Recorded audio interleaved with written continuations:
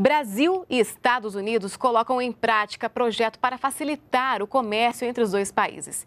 Evento realizado hoje pelo Ministério do Desenvolvimento, Indústria e Comércio Exterior apresentou os setores que vão ser beneficiados. O anúncio é resultado da viagem da presidenta Dilma Rousseff aos Estados Unidos em junho deste ano. Cooperação regulatória, inovação e facilitação comercial.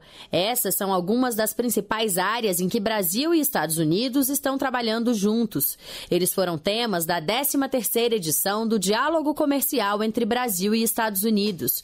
O encontro, que aconteceu hoje em Brasília, é um dos resultados da viagem oficial da presidenta Dilma Rousseff aos Estados Unidos em junho, quando foram assinados 22 acordos comerciais. Os dois países vão pôr em prática um projeto projeto piloto para tornar a análise de patentes mais rápida. Além disso, entidades do setor têxtil brasileiro e norte-americano vão iniciar um trabalho para padronizar normas técnicas e facilitar exportações. E a grande novidade é que produtos dos setores de máquinas e equipamentos, eletroeletrônicos e luminárias vão poder ter a certificação feita no Brasil. Bom, durante a visita da presidente Dilma aos Estados Unidos, foi assinado um acordo importante na área de convergência regulatória. Acordo foi assinado pelo MIDIC, pelo Departamento de Comércio dos Estados Unidos.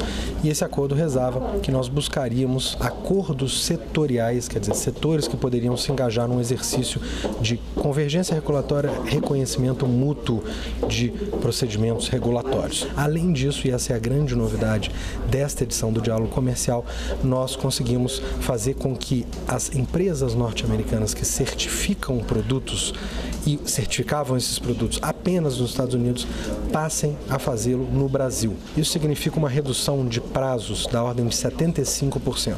Um processo que demorava até um ano passa a ser realizado no máximo em três meses, com a expectativa de que esses prazos possam ser reduzidos a partir de uma demanda crescente no Brasil, que é o que nós esperamos. E além disso, uma redução de custos imediata da ordem de 30%, que nós esperamos também que seja seja uma redução é, de custos crescente. E, finalmente, a eliminação completa da necessidade de envio da amostra para os Estados Unidos, que é um ganho em si. Então, um resultado concreto é seguramente o um aumento é, substancial de exportações brasileiras para os Estados Unidos nesses setores. E agora nós começamos a trabalhar para ampliar esses setores e trazer cada vez mais laboratórios de certificação para o Brasil.